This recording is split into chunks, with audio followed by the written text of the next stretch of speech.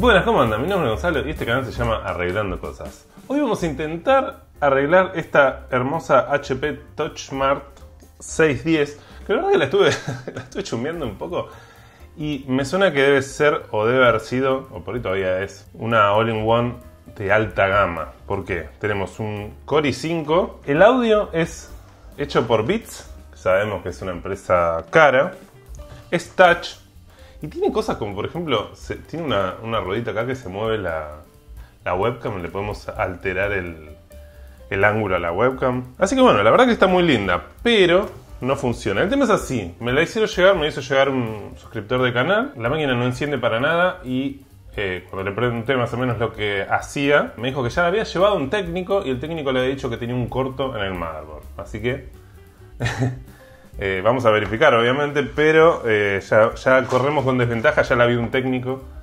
Así que vamos a ver si podemos lograr algo. Primero, antes que nada, vamos a probarla. A ver qué es lo que hace. Acá tengo la fuente que quiero que vean el tamaño de esta fuente. Miren que es este ladrillo. 230 watts. Vamos a probar la fuente. La fuente funciona. Si yo la conecto, se, se apaga directamente eh, la fuente. O sea, es como que se está protegiendo. Por lo poco que sé, me parece que eso indica que tiene un corto en la línea principal, la línea de 19 volts. Así que nada, evidentemente sí, tiene un corto en el motherboard. No sé por qué este técnico le dio ese, ese diagnóstico y no la arregló. No sé si habrá sido por un tema de costos, no le pregunté, o porque simplemente el técnico no la sabía arreglar. Pero bueno, ya sabemos que a la máquina le, metieron mano, ya estuvieron adentro. Así que vamos a desarmarla. Vamos a poner una toalla porque hay que proteger muy bien la pantalla. La máquina es extremadamente grande, creo que son 24 pulgadas o 22. Así que vamos a empezar a desarmarla.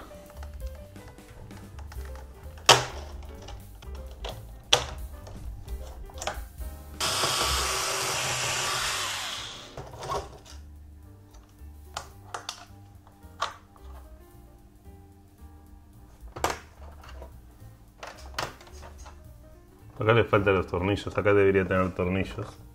Se los sacaron y se los pusieron.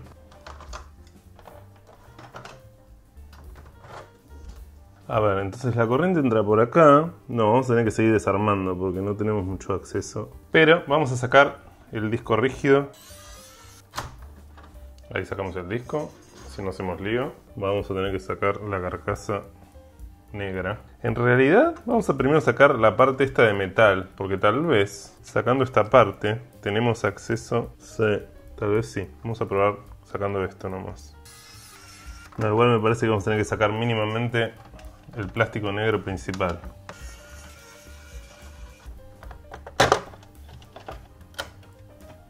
Ahí está, perfecto. Uf, está un poco sucio. Ahora vamos a aspirar, ¿no? Pero todavía me parece que necesitamos sacar... A ver, vamos a sacar esto.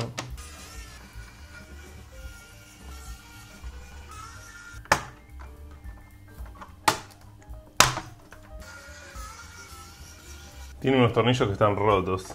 Por lo menos de este lado. A ver, este. Este me parece que no. Un tornillo que está roto. Así que tenemos que ver cómo lo vamos a sacar. Está.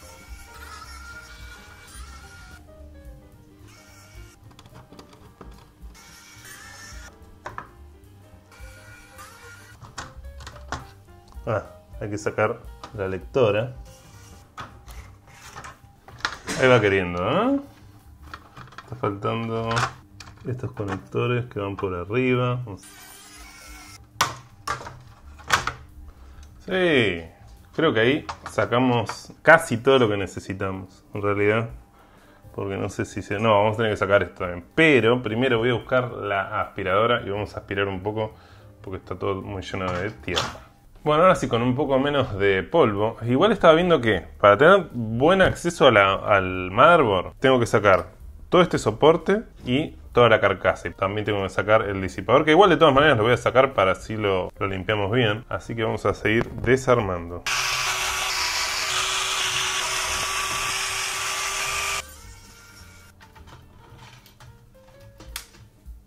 Bueno, la realidad es que acá ya tenemos bastante acceso a lo que es el motherboard, ¿no?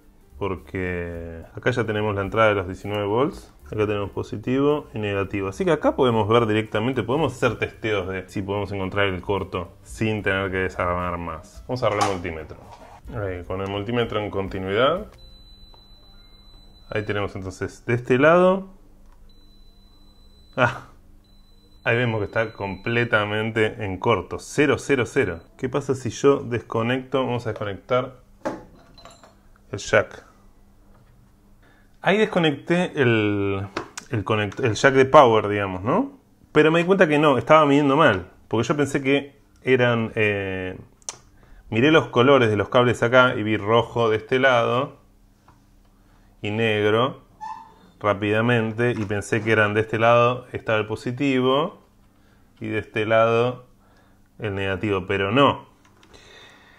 Después me fijé, a ver si se los puedo mostrar mejor por este lado. Acá. Tenemos todo lo de arriba es masa y abajo es positivo. O sea, todos estos de acá son masa. Por eso daba 0, 0. Y los pines positivos ustedes no lo ven, pero están acá, entran directo, entran recto hacia la, placa y son los positivos. Pero si medimos de esa manera, vamos a poner, yo pongo el multímetro acá, tocando masa. Toco acá, todos estos son masa y me da 0000. Y si yo voy al pin de adentro, el positivo, igual van a ver que suena pero me marca 13 ohms, que igual es un corto muy grande y tengo entendido que cerca también porque baja la resistencia.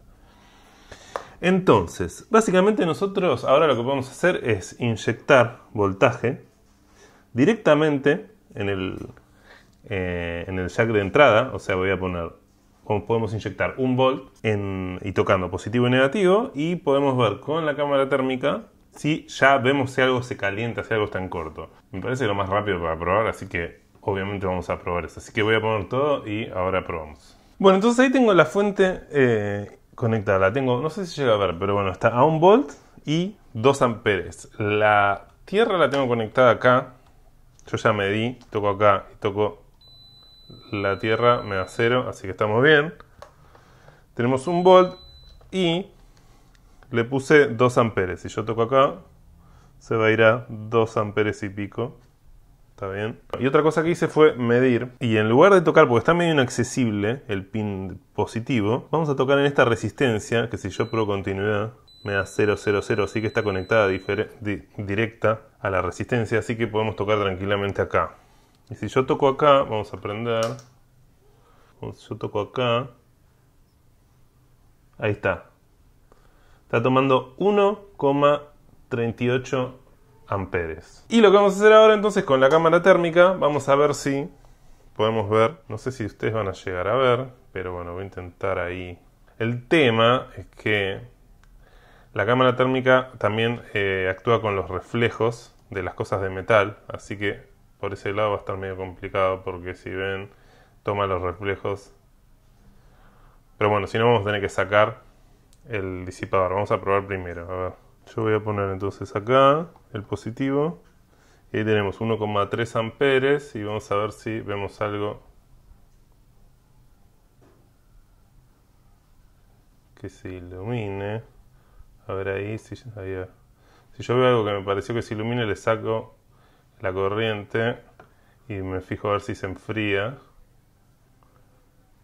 Pero no. También puede ser que sea poco, ¿no? lo que está tomando como para que se vea. Encima está mi mano ahí. Ahora de este lado. De este lado tengo unos MOSFETs. No, me parece que vamos a hacer una cosa. Vamos a sacar en los disipadores. Es más, vamos a sacar todo lo que molesta, como por ejemplo las memorias.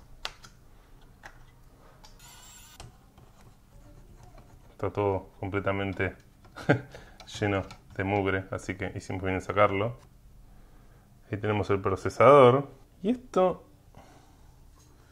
me parece que tiene para expandir para poner una tarjeta de video dedicada esta computadora. Y podemos sacar esto también. Sí, vamos a sacarlo.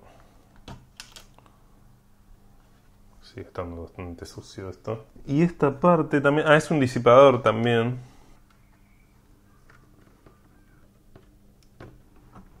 Bueno, no termino de entender cómo se saca, la verdad.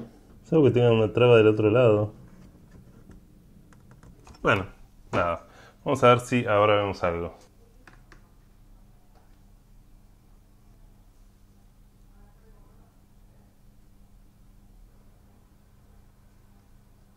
Voy a probar con un poco de alcohol. Por la zona esta.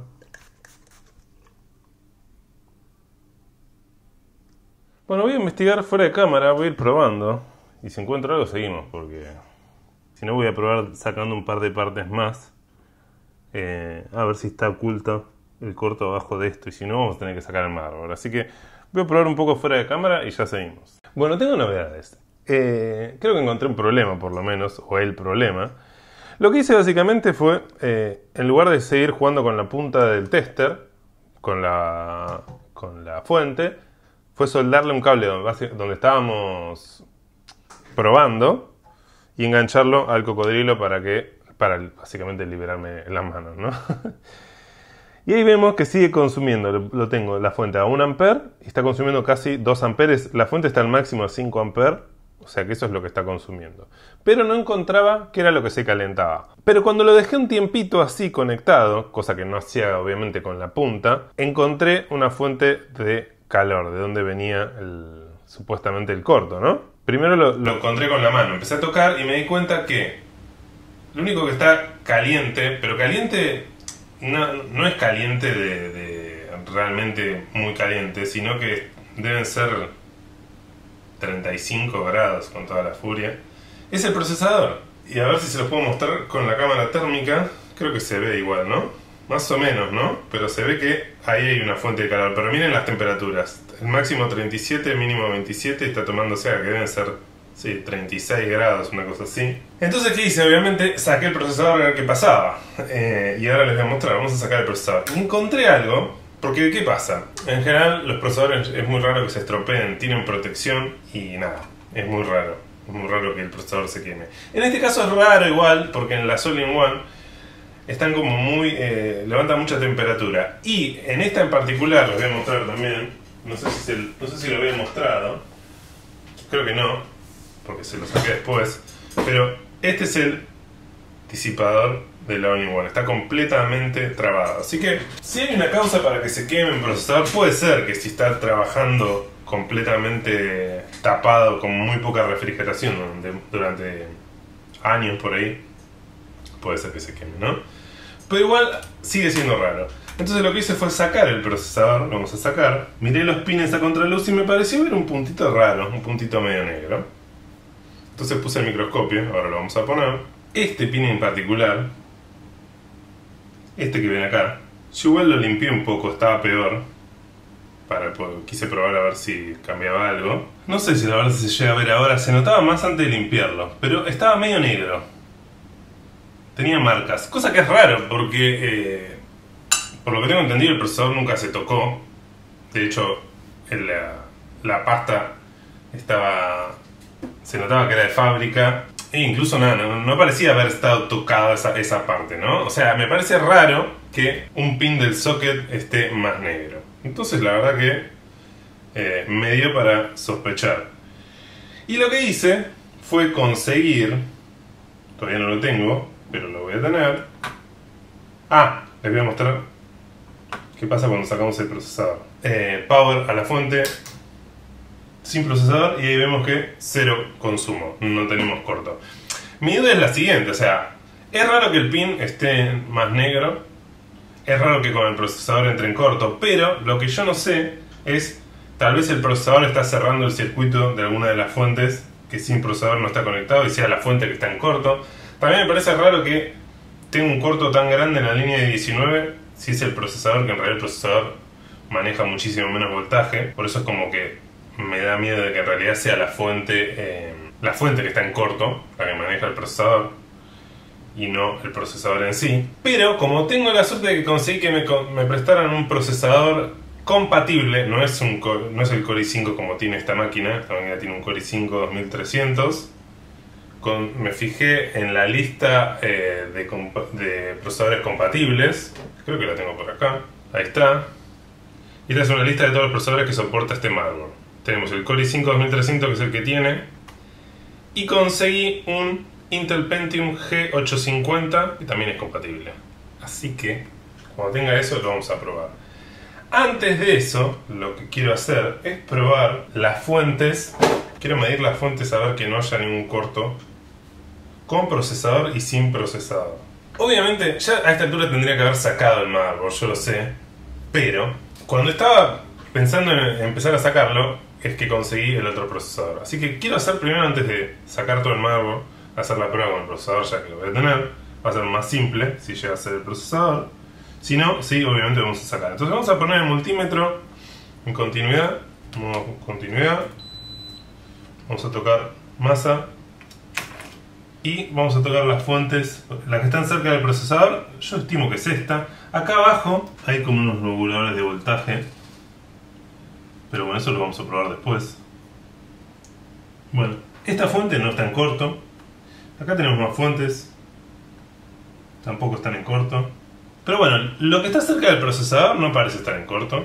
Y ahora vamos a colocarle el procesador y vamos a ver qué es lo que si la entra en corto. Por ejemplo, la fuente esa que está ahí, ¿no? Ahora tengo el procesador colocado y vamos a ver. No parece estar en corto, pero tiene, tiene un valor. Ahora. O sea, evidentemente el procesador conecta a las fuentes. Lo que en realidad es, o sea, suma más a mi sospecha. Porque si la fuente está desconectada sin el procesador y no está en corto, no sé. Obviamente, eh, esto es todo, todo nuevo para mí, ¿no? Yo no soy técnico, esto estamos todos jugando y aprendiendo. Son valores bajos, pero bueno, lo repito, no es corto. Así que yo por ahora voy a descartar un corto en estas fuentes. Y entonces, dicho eso, lo que vamos a hacer, voy a esperar el procesador eh, y vamos a volver cuando tenga el procesador. Si el procesador hace exactamente lo mismo que este Core i5, podemos descartar que sea el procesador y vamos a sacar la tarjeta madre. O sea, si el procesador funciona, básicamente encontramos el problema y la máquina tendría que funcionar. Así que vamos a cortar acá y vamos a seguir ni bien tenga el procesador. Y volvimos y tenemos procesador eh, nuevo. Acá tenemos, va nuevo, ¿no? Usado. G850, a ver si se llega a ver ahí. Sí, ¿no? Ahí arriba, G850. Obviamente no vamos a, conectarle la corriente porque puede ser que rompamos este procesador también si es que el otro está roto.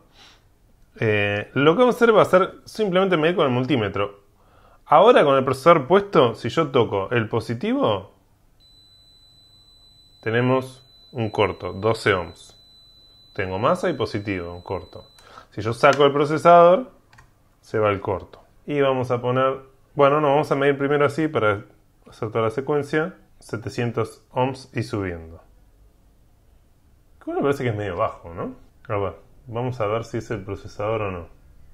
Vamos a poner el procesador. Ahí está colocado el procesador. Y tenemos o no tenemos corto. ¡Sí!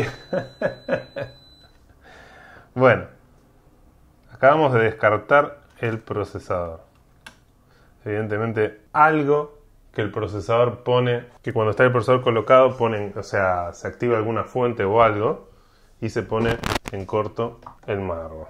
O tal vez ya está en corto y con el procesador es peor, ¿no? Porque estaba viendo que es medio bajo la, la medición. Pero bueno, no nos queda otra que lo que teníamos que haber hecho de un principio, sacar todo el mármol, porque puede haber algo, por ejemplo, puede haber algo extra a todos estos dispositivos que tiene, que estén en corto. O bueno, puede ser que sea algo más complicado, ¿no? Así que vamos a proceder a sacar toda la placa. Esto es como una placa capturadora de, de televisión, me parece. Me parece que la, la compu debe tener, porque yo vi acá un puerto, tiene, tiene el conector de, de, de coaxil, ¿no? Debe tener una placa capturadora. Vamos a sacar también la placa de Wi-Fi. De hecho podemos ir probando, ¿no? Vamos a ir probando a medida que vamos sacando. Esto no nos cuesta nada. Ahí tenemos lo mismo. Vamos a sacar la placa de Wi-Fi. lo mismo. Vamos a empezar desconectando. Me parece que vamos a tener que sacar toda la estructura para sacar el motherboard, pero ahora vemos. Tal vez sale esta chapa y puede, sacar el, puede salir el motherboard. One eternity later. Ya va saliendo, sale, sale, sale, sale. Sí. Bueno, la primera vista del otro lado del motherboard. Hmm. Acá tenemos una mancha rara. Lo primero que encuentro raro, acá. Acá también. ¿Qué hay del otro lado acá? Ah, está este disipador acá arriba. Vamos a levantar el disipador este, a ver cómo Katsu se levantaba. Hay que apretar ahí.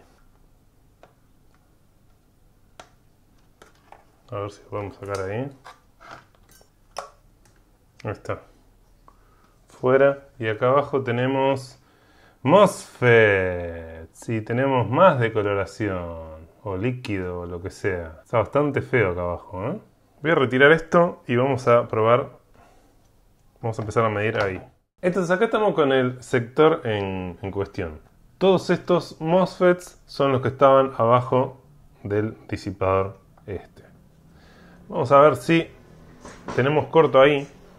Primero, antes que nada, pongo el negativo en tierra y vamos a tocar, por ejemplo, este capacitor 00.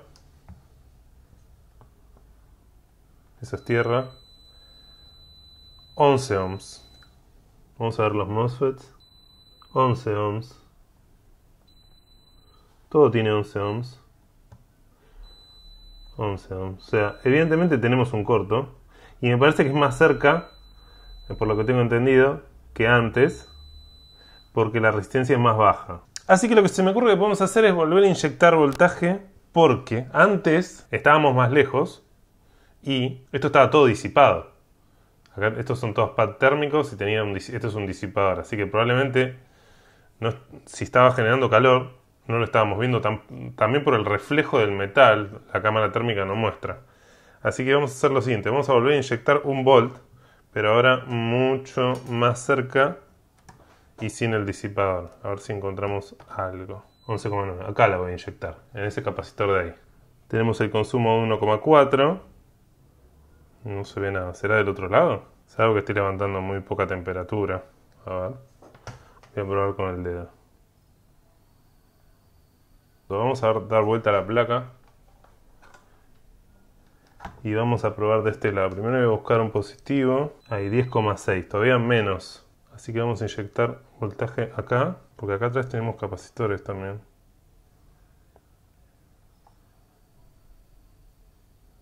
Ahora voy a probar con la mano. Acá incluso está tomando más amperes. Ah, no sé, es complicado. Sin el procesador no encuentro nada, pero nada, nada, nada en corto. No sacamos la pila, estoy viendo. Sin el procesador no encuentro ningún corto. Ninguno, por ningún lado. Y con el procesador tenemos corto. O sea, pero voy a seguir, lo que voy a hacer es voy a seguir investigando un poco más. encontré un esquemático de una revisión parecida a esta. Así que voy a ver si encuentro algo útil ahí. Y seguimos, porque la verdad estoy medio perdido. Bueno, creo que encontré el problema. Y ahora le cuento cómo hice. Primero, antes que nada, lo que hice fue volver a conectar la fuente para no depender de la punta. Y lo que hice, obviamente, si prendemos, o sea, de la misma manera, como lo estaba haciendo inyectando en un volt, generaba casi 2 eh, amperes, menos de 2 amperes.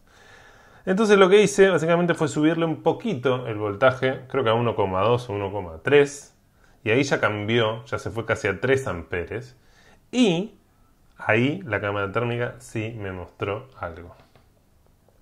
Vamos a volver a prenderle. Ahí estamos en 1,25 volt y 2,3 amperes. Y si yo voy a la cámara térmica, y me fijo acá los MOSFETs, tenemos claramente un punto. Entonces, acá claramente se ve un punto.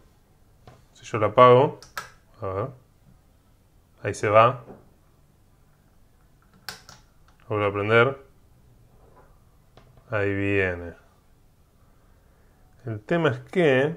Ah, bueno, es distinto al que yo... Yo estaba mirando este de costado antes. Pero ahora me está marcando este. Antes fuera de cámara, quiero decir, ¿no? Me está marcando este de acá. A ver, sería este de acá. Sí, el punto es ese. Se ve, ¿no? A ver qué temperatura tiene. Vamos a poner temperatura para ver. Claro, son 32 grados contra 29. Pero se nota claramente un punto. Un punto caliente ahí. Toco masa. Este tengo corto acá. Acá no. Acá sí. O sea. Este acá. Acá también. O sea que este es el único que me marca corto en estos dos contactos. Encontramos que el problema tendría que estar por acá. Este es este estilo que es estimo que es un MOSFET o este capacitor. Vamos a mirarlo más de cerca con el microscopio. Entonces decíamos que tiene que ser o este que me marca corto en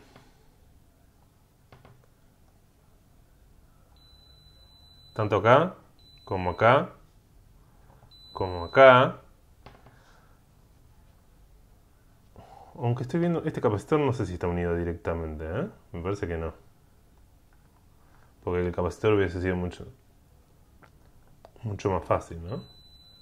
Me marca 0,05. No, yo no creo que estén conectados directamente. Y este de acá, a ver, qué sé yo. No, para mí es este, la verdad. Para mí es este. BA1P3N. Podemos sacarlo, a ver si se va el corto. No sabemos si al poner otro. BA1P3N. A ver si encuentro algo. Este es otro problema también. Acá en este país encontrar repuestos de este tipo de cosas. Obviamente en Mercado Libre no hay nada. Y el problema es que, es que desde este país que llegue de China es muchísimo tiempo. Sí tengo el, el esquemático, así que vamos a mirar a ver la posición de este. A ver, voy a buscar en el esquemático eh, si encuentro la posición. Dijimos que era entonces PQ38. A ver. Bueno, busqué el esquemático y le saqué unos screens porque me fui acá para, para filmar la pantalla. Pero básicamente acá está el MOSFET que está ubicado en la PQ38, ¿no?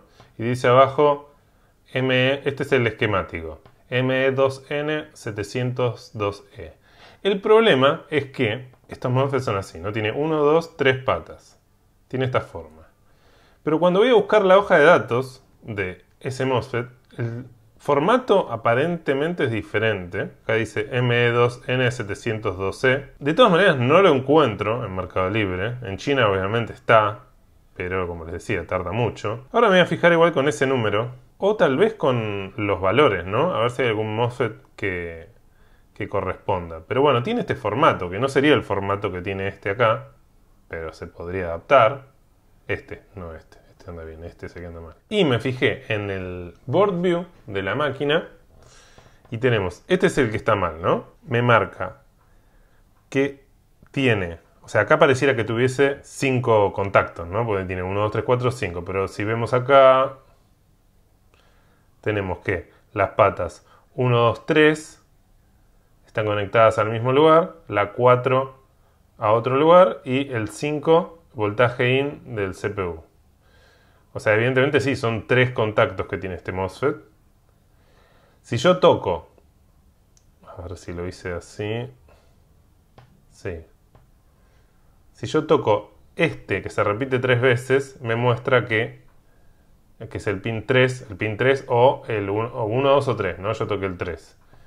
Me muestra que se comunica con el, estos dos MOSFET de al lado y bueno, un punto acá y un punto en la bobina también, ¿no? Y si yo toco el otro número que aparece ahí, a ver si lo tengo acá, es el punto 4, bueno, ahí ya, yo ya marqué que era lo que, porque es así, el punto 4 me marca que se conecta a este, a este test point de acá. Y yo que toqué el test point en el board view y me sale, se conecta con millones de cosas, ¿no?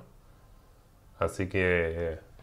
Yo yo creo que el culpable es el que me muestra la, la, cámara térmica, es este de acá, es el único que se calienta y el único que está en corto, de hecho, que tiene dos patas en corto. El problema va a ser conseguirlo, básicamente, ¿no? O sea, si lo sacamos y se va el corto, igualmente la máquina no va a arrancar porque va a necesitar de este MOSFET. Y tendría que ver si se puede conseguir ese componente, básicamente, o algo eh, similar. Así que vamos a poner la soldadora, igual lo voy a sacar porque quiero probar que ya no tengamos ningún corto.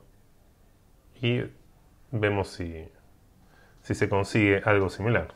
Bueno, entonces acá le puse una placa de aluminio, porque del otro lado tenemos los capacitores estos eh, que pueden reventar con el calor, básicamente, ¿no? Y lo que voy a hacer es ponerle, vamos a ponerle flux, para ponerle un poco de soldadura sin plomo, así no tenemos que meter tanto eh, calor con la soldadura de calor, ¿no?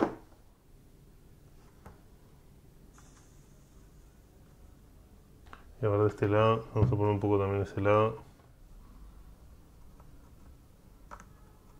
Ahora sí, vamos a darle una soldadora de calor. Aire máximo.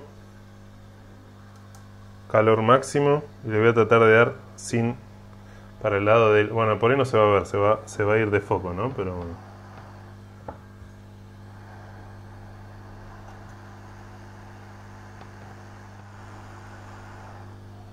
Ahí salió entonces nuestro mouse, lo vamos a dejar por acá. Bueno, a ver si los muestro, ¿no? Ahí está nuestro mouse. Ahora están unidas, ¿no? Pero tiene una pata ahí y dos patas de aquel lado. Vamos a ver rápidamente. Ya sé que está caliente todavía eso, ¿no? No habría que medirlo, pero lo voy a medir igual. Ah, quedó el capacitor, bueno, después lo enderezo, ¿no? Pero quedó el capacitor medio torcido, pero igual está haciendo contacto. Y Sí, si ven, miren, ahí tenemos. En el mozo de atrás teníamos más acá y acá cero. Y en este teníamos también eh, continuidad en este pin de acá. Esto está bien. Este también está bien. Vamos a ver esto.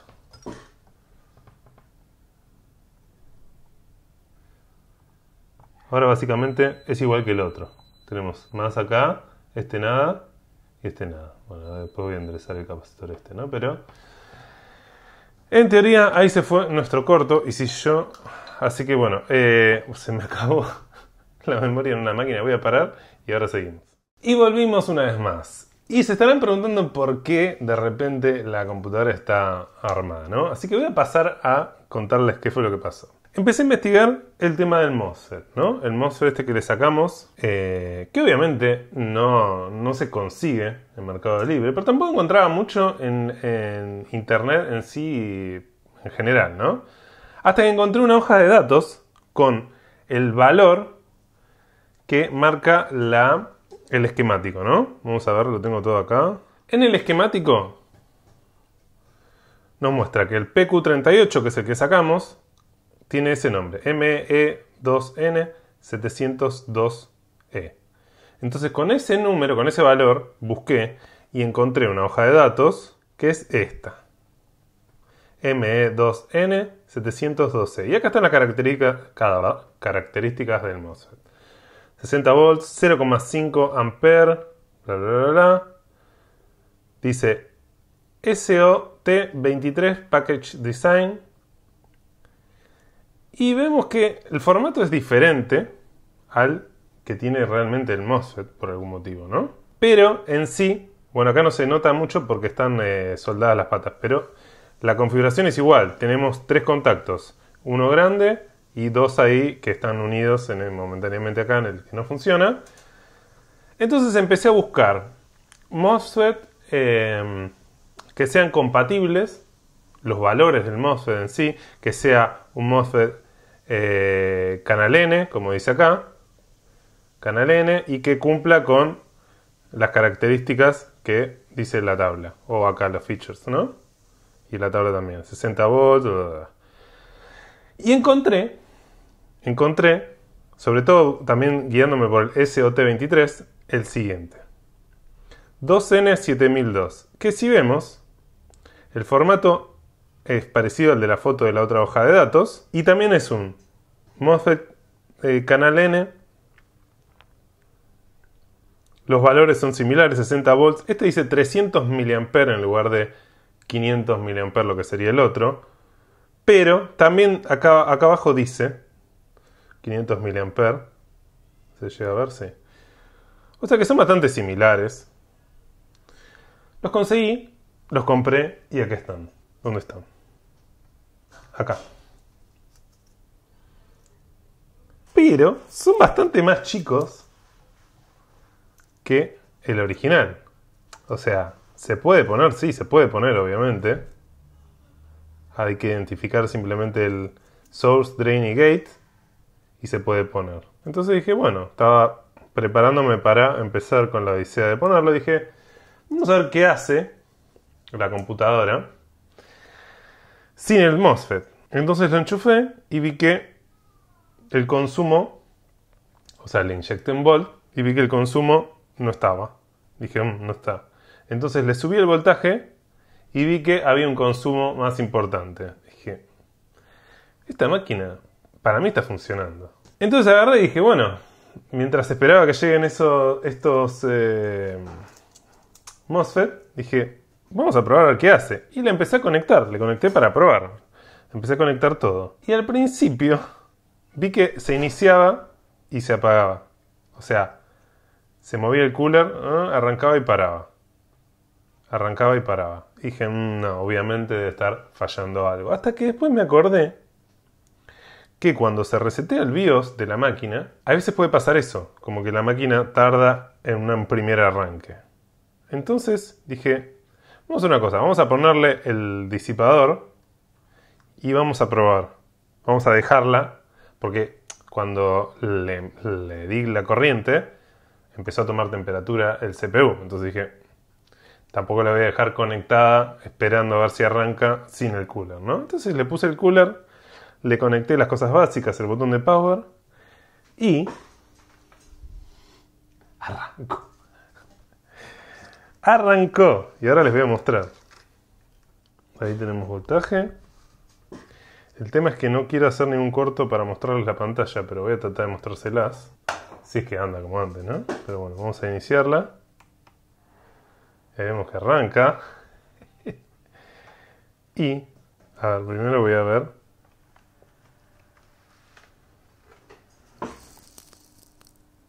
Sí, ahí tenemos la pantalla.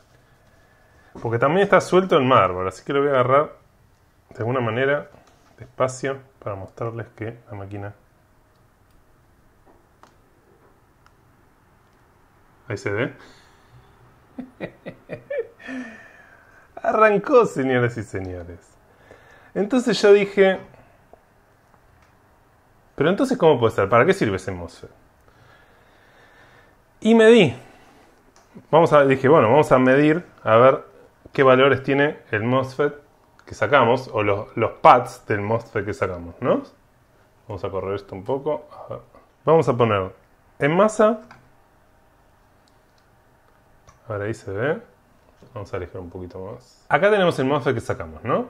Y acá tenemos el MOSFET de al lado. Si yo mido en este pad, tengo 19 volts, ¿no? Si yo mido estos tres primeros, estaban todos juntos y este por separado, ¿no? Entonces yo mido acá y tengo 1,17 volts. En este también. 1,17. En este también. 1,18 pues están todos unidos. Y este que es diferente mide 1,92. Si yo voy al modo que funciona, que está al lado, tengo 19 volts. En los que están todos unidos, que son esos tres, tengo 1,2 como en el otro, y en este tengo 1,69. Hay una variación de valores, pero los valores están. Vamos a apagarla porque no está bien puesta la pasta, no, no tiene mucha pasta ni nada. Entonces dije, ¿cómo puede ser? ¿Para qué está el MOSFET? Entonces me fui de vuelta al diagrama. Obviamente no entiendo muy bien los diagramas todavía, porque soy porque todavía no tengo mucha, mucho conocimiento. Y acá donde necesito la ayuda de ustedes. Este es el que sacamos y este es el vecino, el de al lado, este de acá. Y por lo que yo veo está bastante eh, puenteado. Acá dice main on, que yo estimo que deben ser 19 volts. Esos 19 volts están en los dos. Se comunican. Acá tenemos tierra, este otro pin, que también viene de este lado. No sé. ¿Será que están en paralelo? ¿Será que están como en paralelo para proteger el circuito? Tipo, si falla uno, está el otro. La única razón que entiendo para que funcione uno sin el otro tiene que ser esa. Que estén eh, como de refuerzo, básicamente, ¿no? Así que si, si alguno de ustedes entendió algo diferente, avísenme. Yo lo que creo, más allá de que esto se puede poner y tendría que funcionar, obviamente va a haber una diferencia de tamaño, va a haber una diferencia de, trabajo, por ahí se queme más rápido este, pero no tiene, o sea, nada, no, no, no, le veo sentido si la máquina funciona bien. O sea, queda obviamente probar un montón de cosas. Hay que terminar de armarla, conectarla y ver que todo funcione. Pero me parece que por el momento voy a probar así. Obviamente también corregí fuera de cámara el, capacitor este que se había, había quedado torcido. Esto ya está corregido. Así que, queridos amigos, lo que voy a hacer ahora, fuera de cámara obviamente, porque esto me va a llevar un rato largo. Tengo que ver incluso los videos para ver eh, cómo armarlo para atrás. Porque eso es lo que hace mucha gente que hace los videos. ¿no? no es que mágicamente yo me acuerdo cómo va todo, sino que voy chequeando el desarme para volver a armarlo. Así que voy a hacer esto. Voy a terminar de limpiarla, le voy a cambiar la pasta, la voy a armar y la vamos a probar a ver si funciona todo. Seguimos en breves. Bueno, y acá la tenemos entonces, 100% terminada, funcionando y eh, viva completamente. Tenía todas las intenciones de prenderla, que la prendamos así por primera vez junto para que la vieran. Pero pensé que estaba grabando, pero bueno, se que no sé si apreté mal o se cortó. A veces pasa que se corta por algún motivo y bueno, no quedó, pensé que estaba grabando y no estaba grabando. Y no iba a actuar toda la mímica de uy, encendió. Sí les puedo contar que me asusté un poco cuando le encendí por primera vez porque apreté el encendido y como que hacía ruido si no iniciaba, no iniciaba, no iniciaba. Y después inició. Y me acordé que cuando se resetea el BIOS, muchas máquinas tienen como un, un arranque mucho más lento. Es como que arrancan, se apagan, arrancan. Después de que hizo el primer arranque, ahora arranca perfecto, eh, sin problemas, eh, rápido. Así que, nada, no tiene mucha emoción, pero bueno, lo importante es que acá está, la revivimos. Después de haber pasado por un service que dijo que, bueno, en realidad no estaba mal, dijo que tenía un corto en el mármol, pero no sé por qué motivo no lo arreglaron, porque no lo pudieron encontrar, o no se ocupaban de eso, pero bueno, la realidad es que acá está. La verdad que está muy buena, se nota que es una máquina que fue una máquina de alta gama por todo lo que tiene, ya sea porque es touch. Ese es un punto que no voy a poder probar porque no funciona. Y le, obviamente le pregunté al dueño automáticamente, le digo, mira, no funciona el touch por algún motivo. Y me dice, no, no, el touch dejó de funcionar hace un tiempo. Yo no creo que sea problema de hardware, debe ser problema de software, de controladores de Windows. Muchas veces pasa con estas cosas, con los periféricos, que el Windows se actualiza, instalas eh, controladores que están mal o no son compatibles los controladores eh, y se dejan de fabricar ciertos controladores o hay que instalarlos manualmente después.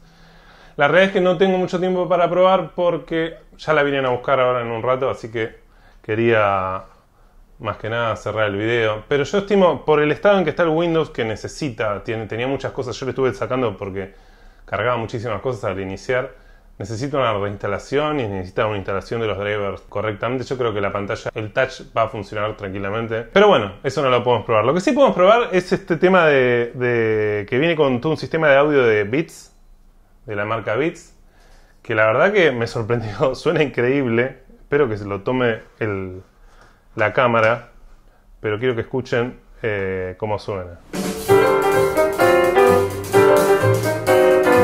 Bueno, y este canal se llama Arreglando Cosas. Tenemos soldadora nueva en el canal. Al final me decidí por esta marca espectacular, obviamente súper genérica, china. No sé si lo va a tomar muy bien el, el, el, audio, pero la verdad que se escucha con una claridad. Se nota que es eh, tiene unos parlantes de alta calidad. Pero bueno, entonces eso va a ser todo. Revivimos esta hermosa HP TouchSmart 610 eh, yo estoy contento. El dueño va a estar contento, espero que ustedes estén contentos, espero que el video haya quedado más o menos entretenido. Si les gustó y no están suscritos, acuérdense que pueden suscribirse al canal, eso ayuda un montón. Y activar las notificaciones que les avisa de los nuevos videos. También ayuda un montón al canal. Si quieren contribuir de alguna otra manera económicamente, bienvenido. Tienen ahí abajo en la descripción todos los contactos de mis redes sociales, cómo contribuir si quieren contribuir. Si quieren hacerme preguntas, me pueden dejar abajo en los comentarios. Sus opiniones también, eh, así vamos aprendiendo todos. Acuérdense, muy importante, que está activo el canal de Discord, que con algunos eh, suscriptores ahí charlamos. Está bueno, si no estoy yo, incluso charlan entre ustedes sobre esto, obviamente, arreglar cosas. Así que espero que sigan todos bien y nos vemos en el próximo video. Chao.